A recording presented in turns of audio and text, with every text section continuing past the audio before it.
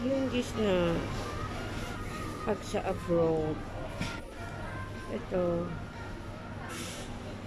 Pero ang mahal yan.